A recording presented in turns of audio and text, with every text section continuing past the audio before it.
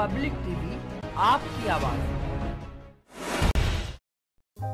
अवैध निर्माणों के खिलाफ एमडीए का बुलडोजर अभियान लगातार जारी है। शनिवार को टीपी नगर इलाके में एमडीए की टीम ने अलग अलग स्थानों पर किए जा रहे अवैध निर्माणों को बुलडोजर द्वारा ध्वस्त करने की कार्रवाई की।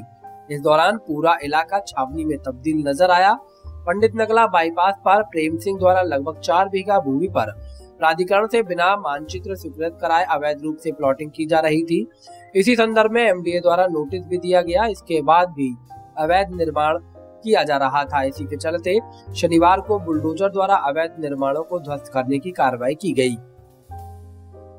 साहिबाबाद रोड पर ट्रांसपोर्ट नगर के सामने सेवानिवृत्त दरोगा द्वारा लगभग 70 वर्ग गज के क्षेत्र में भूतल पर किए गए अवैध निर्माण को बुलडोजर द्वारा जमींदोज करने की कार्रवाई हुई।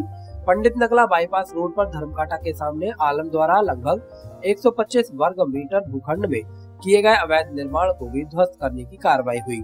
कार्रवाई के दौरान प्राधिकरण के सहायक अभियंता सागर गुप्ता, अवर अभियंता तेजवीर सिंह, अवर अभियंता आर पी यादव के साथ प्रवर्तन टीम के कर्मचारियों के साथ थाना गढ़गढ़ की पुलिस भी उपस्थित रही।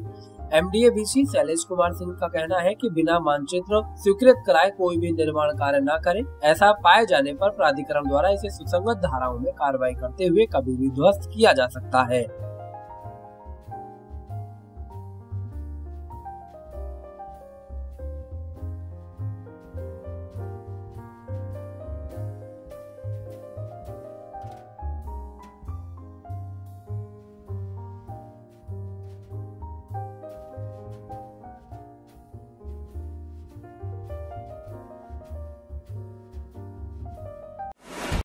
पब्लिक टीवी आपकी आवाज़।